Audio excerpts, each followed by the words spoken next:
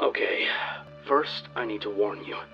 If you're hearing a sound playing in your head right now, right out of the blue, then I urge you to run right now.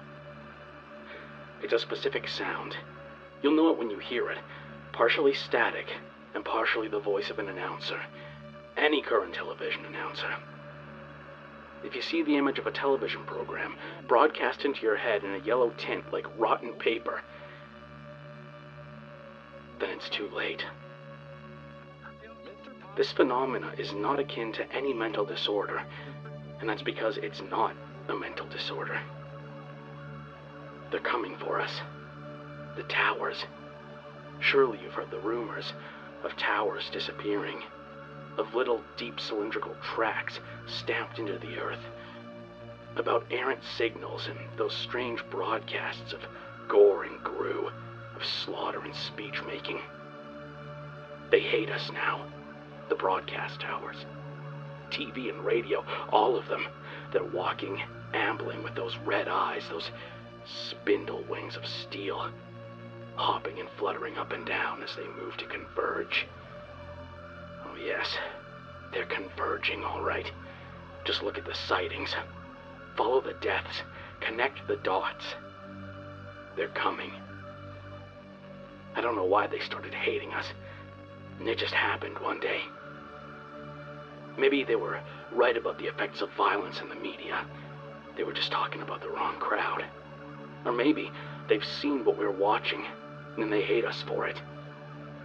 That could explain what I heard in the radio and saw in the portable TV I brought to track them. And that could be why I see every TV and every radio cracked into a million plastic shards in every town I pass through. Images of reality TV stars being fed into a meat grinder, talking heads into sludge, morning zoo DJs vomiting out their own intestines, the screams of pop stars. I hear and see this shit every day, always new and always more disgusting. It's like they're mocking us, throwing our depravity back at us as they amble across the blasted plains. You can't destroy them. Planes fall out of the sky. Tanks burst into flames, and I don't even want to say what happens to the drones. I saw some gun nut aiming an RPG at a herd of them once. One of them just looked at it with its big red eye. He ended up shooting the RPG into his own mouth instead.